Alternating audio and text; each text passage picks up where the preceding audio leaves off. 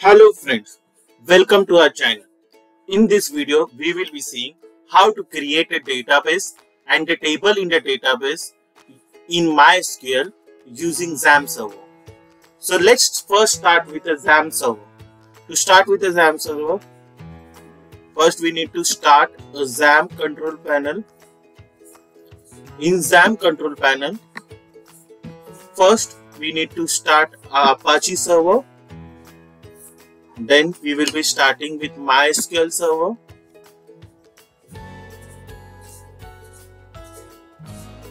Okay. Now the stated status detected is running. So we can click on this admin button to start PHP MyAdmin.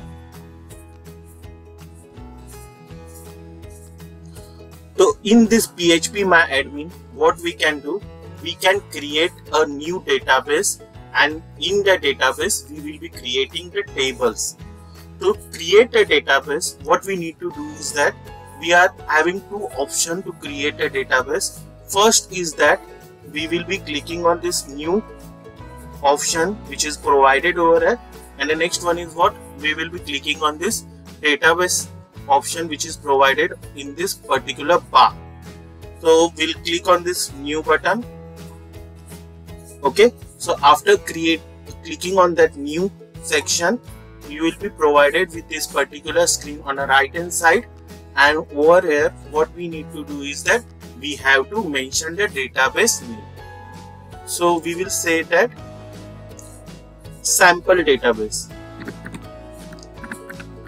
So in sample we will say create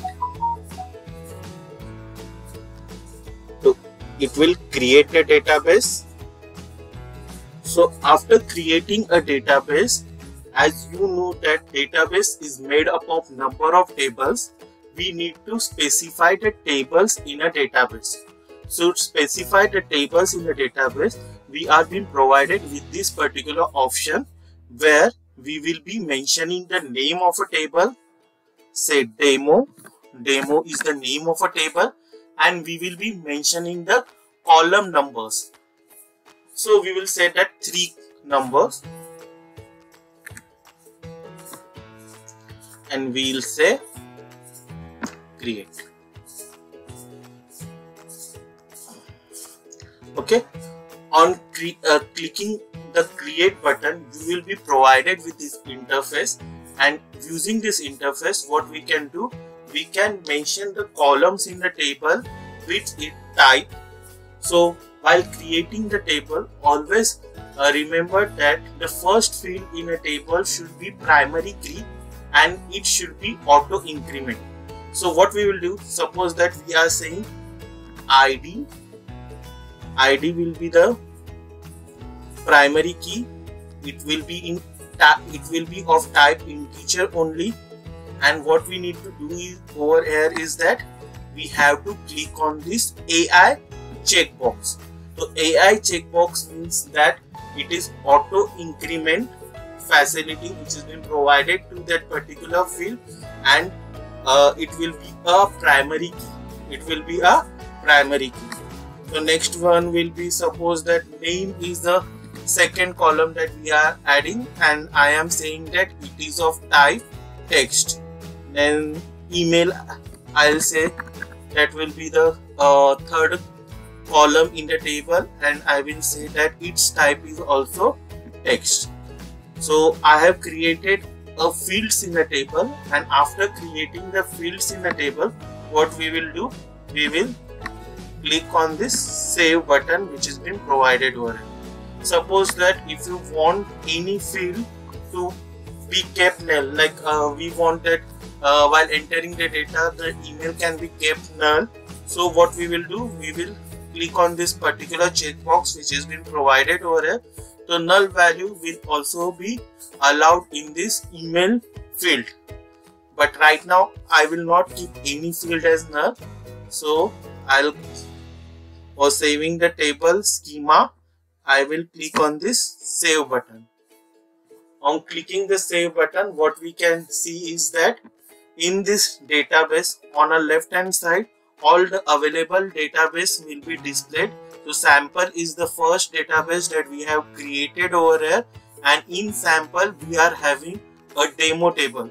If you want to create more tables that we created with this new option which has been provided over here or as you can see that at below of this particular section we are being provided with a create new table option.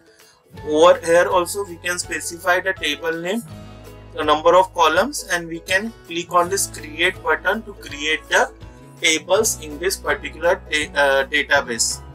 So as you can see that a table is been listed over here with the facility like browse structure browse to see the data in that particular table structure to change the structure or any field in that search to search the value insert to insert a value empty truncate the value and the drop is the option that is being provided to drop the table.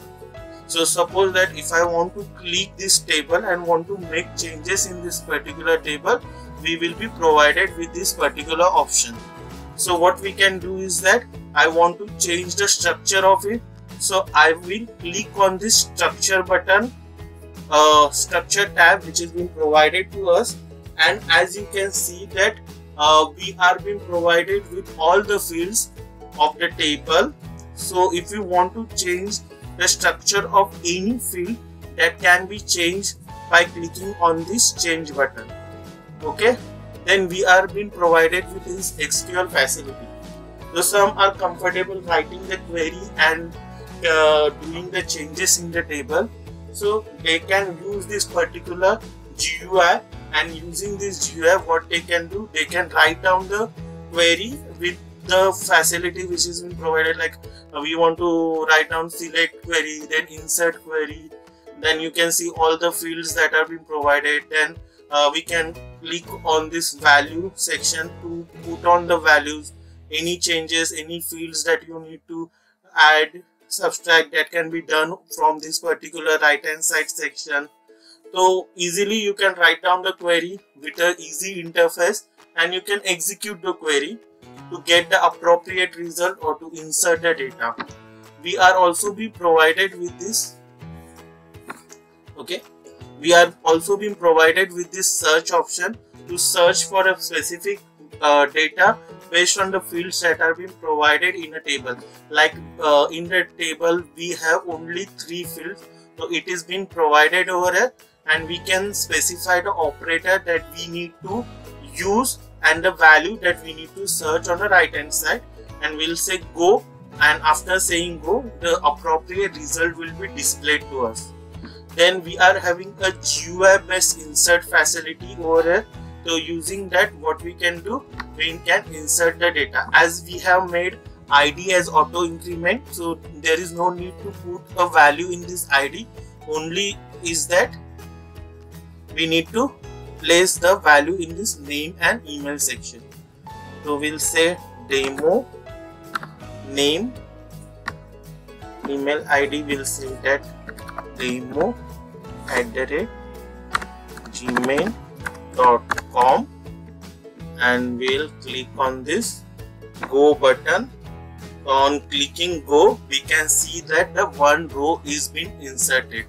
So on clicking this browse tab we can see that the first row is been inserted with the value demo and demo at the rate gmail.com in a similar fashion we can insert n number of rows in a table but it will be a data which will be inserted through a database. But if you want to insert a data through an application then we need to create we need to connect this database with the application so the application can be anything php uh, android application uh, then uh, anything like uh, uh, java application any application software we can use in a front end and back end will be our database. Suppose that if we need to export the data, suppose that uh, we have created a database over here and the same database we need to shift it to a server. So what we need to do is that we need to copy down the schema of the table as well as database that can be done with this export option. So on clicking this particular export uh, SQL, SQL file will be created and that SQL file can be imported to some other location where we want the same schema of a database and we will be uh, we will be using the same schema over there. So similarly suppose that some another sql file is there with some another schema of a table and all is been provided to us that can be imported with this import option by choosing the file from this particular option. Has to be an sql file and we'll say import over here so that file will be imported over there. okay then privileges suppose that to a database if you want to give some privileges like uh, you want to specify the username uh, password that you want to apply to a database that same has to be uh, mentioned while we are mention, creating a connection from a application to this particular database. Default we are having a root as a user and a password as blank password. So that will be the default password that we need to use to get a application connected with the PHP MyAdmin database. Next is the operations that we are being provided to us like uh, uh, we need to adjust the privileges then table option that rename uh, we can rename the table comment the table then uh, we can set the auto increment value over here then uh, copy the table. We can copy down the table. Delete the data uh, table. Truncate the table uh, truncate the table. We can drop down or uh, drop the table. So multiple options are being provided to us over here. I hope this video was very helpful for you. Uh, using the help of this video, you can create your first database in PHP MyAdmin and in that database, you can create a table also. For more such video, stay connected with us. Thank you.